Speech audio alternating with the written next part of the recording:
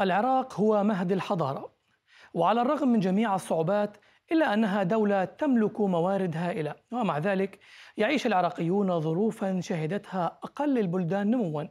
البنية التحتية العراقية تنهار الحياة العراقية تنهار أيضا. هناك العديد من الأسباب لهذا الوضع ولكن السبب الأهم هو التدخل الإيراني. بسبب تواجد إيران وعملائها في العراق كل ما يقوم به الشعب العراقي لتحسين الوضع ينتهي إلى طريق مسدود. هذا المأزق الذي تسببت به إيران زاد التوتر بين أهل العراق ودفعهم للاحتجاج.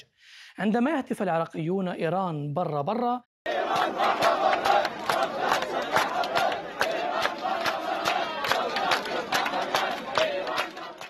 إنهم يفعلون ذلك لأنهم يدركون أنه طالما أن إيران تتدخل في سياسة واقتصاد وأمن العراقيين فإن العراق لن يبقى له شيء.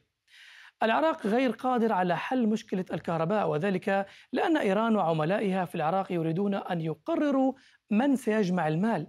لا يمكن للعراق إصدار قوانين لكبح جماح الميليشيات الطائفية بسبب تهديد إيران والدمى التابعة لها في العراق بالعنف.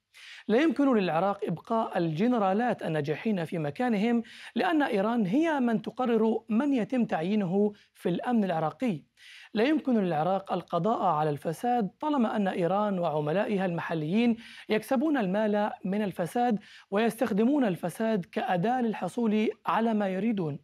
لا يمكن للعراق الحد من الفقر بينما توقف إيران أي مشروع لتحسين اقتصاد العراقيين.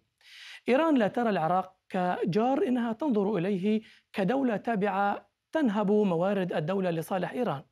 من المهم أن يتردد هذا الشعور بشكل خاص بين العديد من المتظاهرين الشيعة المسالمين الذين يستمعون إلى أصوات الشيعة العراقيين الوطنيين من النجف بدلا من البغضاء القادمة من الجانب الإيراني مثل الجنرال قاسم سليماني. يدرك العراقيون جيدا أن العديد من أفراد النظام الإيراني لا يزالون يرون أن العراق هو العدو ويحاولون إيذائه بأي طريقة ممكنة.